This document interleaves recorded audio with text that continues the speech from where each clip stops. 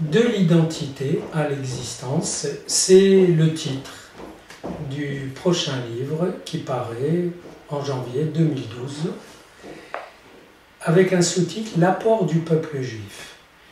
Et l'idée, c'est que tout un chacun a son identité plus ou moins stable, colmatée par ses symptômes, sa culture, sa place, son boulot, tout ce qu'on veut.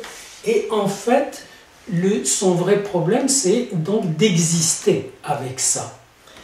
Et si j'ai pris l'exemple du peuple juif, c'est parce que c'est un objet quand même existentiel très intéressant. Voilà un peuple dont l'existence a toujours été mise en question et qui a continué à exister à travers les siècles, les millénaires même. Et j'ai essayé de voir comment se fait qu'une entité comme ça, qui est très mobile, très ouverte, très instable, tient et, au niveau de l'existence de manière assez forte. Et je montre que au départ, il y a une hypothèse qui a l'air bizarre, mais qui est en fait celle de tout un chacun.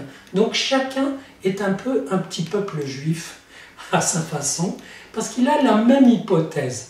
La fameuse histoire de peuple élu, ça tient pas, ça se formule beaucoup mieux de cette façon. L'hypothèse, c'est il y a de l'amour pour nous dans l'être. Des gens se sont dit ça il y a 3000 et quelques années. Et deuxièmement, ça veut dire pas Dieu nous aime, mais il y a de l'amour pour nous, possible, qui nous distingue. On a distingué de l'amour. Et chacun dans sa vie cherche à distinguer des points d'amour dans la vie où il puisse se raccrocher. Deuxième partie de l'hypothèse, on va avoir des ennuis pour ça.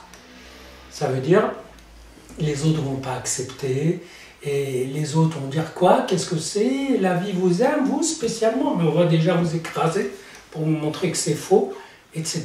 Et muni de ces deux hypothèses, comme de ces deux bouts d'hypothèses, comme de deux béquilles, ce peuple a boité, bondi, couru tout au long des siècles, avec comme souci d'écrire ça, d'inscrire ce rapport à l'amour et à la bagarre que ça engendre. Et c'est ça qui a donné le premier grand livre, la Bible. La Bible hébraïque est un livre bourré de fiction, de, de, de, de, lois, évidemment, de récits, de chroniques, etc., mais qui sont très proches du vivant et dans lesquels il n'y a pas un idéal auquel on peut s'identifier. Ce n'est pas les évangiles où on s'identifie à cet idéal divin, et c'est pas non plus le Coran où on est tous soumis à Dieu. Là, c'est à même la texture existentielle, comment on se bat avec l'être dans l'amour et dans la violence. Et c'est d'ailleurs l'étymologie de ce mot Israël, qui donc est intéressant pour bien d'autres en dehors du peuple juif, et même pour les juifs, comment cette existence arrive à tenir sur le mode que j'appelle du par l'écrit, en tressant l'écrit et la parole le long des générations.